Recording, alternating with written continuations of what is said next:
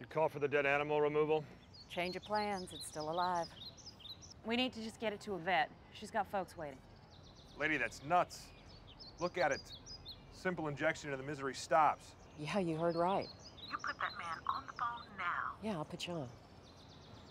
Guilford County Animal Shelter. It's not worth saving.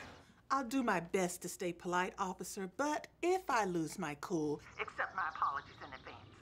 Now, this is how it's gonna go down. you get the dog here, which is your job, and my team of veterinarians will make that determination, which is our job. It's a waste of your time. Well, it's our time to waste as we see fit. Get it here.